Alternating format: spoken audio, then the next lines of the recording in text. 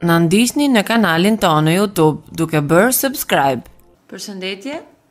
Sot do të përgatisim lëngun i cili pastron zorrën e trashë dhe ndihmon për t'u dobësuar. Për këtë na nevojitet një kokërr mollë, një lugë gjelle mjaltë, një lugë gjelle fara liri dhe një lugë gjelle fara chia. Gjithashtu na nevojitet dhe gjysmë gote ujë ose një filxhan kafeje ujë. Fillojmë me radhë të gjithë përbërësit t'i shtojmë në blender.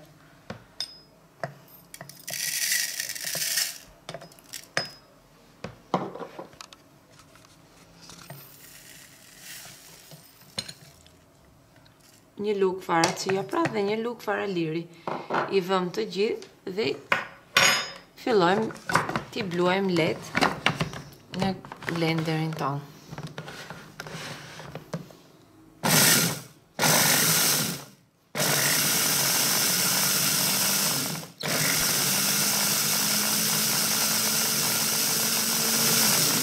Në momentin që shikojmë që janë copëtuar, do t'i shtojmë edhe mollën.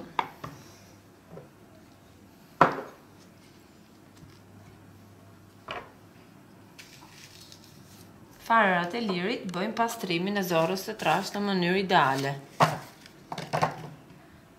Gjithashtu dhe farat e chias Janë ndër farat më të mira që mund të përdorim për të përshpejtuar metabolizmin.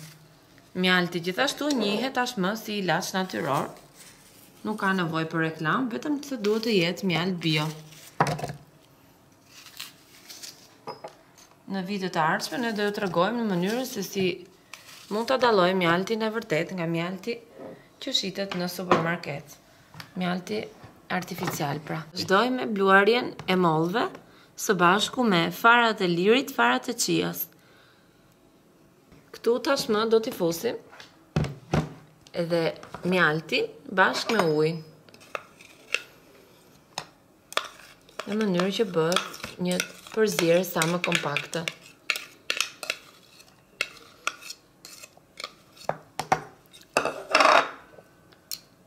Pra, një lugë gjelle me mjaltë. Do t'i hedhim edhe ujin.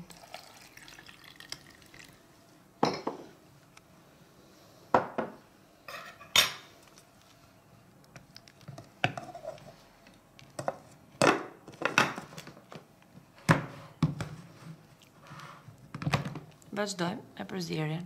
Në këto momente, kjo përzierje është gati. Pra, ka fituar masën homogjene që na duhet. Dhe duhet ta konsumojmë çdo ditë, një herë në ditë, të paktën për tre ditë. Dhe do të shikoni rezultatin tuaj në trup.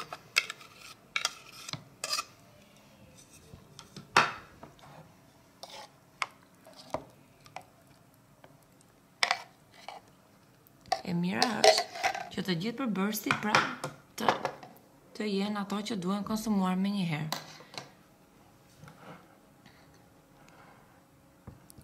Pra për këta përbërës na janë dashur farat e linit, farat e çias, molla dhe mjalti. Ky është përfundimi pra i recetës tonë. Ju ftojmë të na ndiqni në faqen tonë shëndeti. Gjithashtu, na bëni subscribe në Youtube në kanalin tonë.